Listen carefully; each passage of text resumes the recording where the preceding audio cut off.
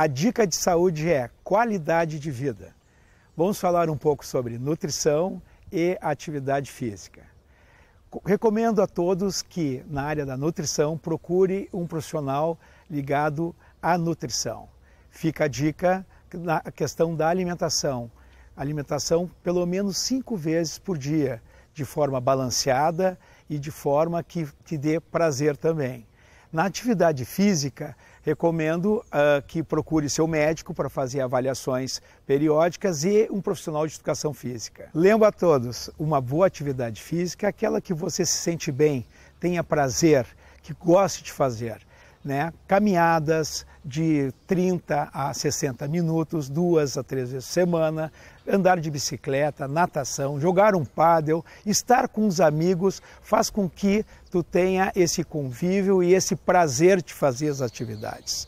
Lembro a todos que um corpo só é corpo quando tem uma pessoa feliz dentro dela.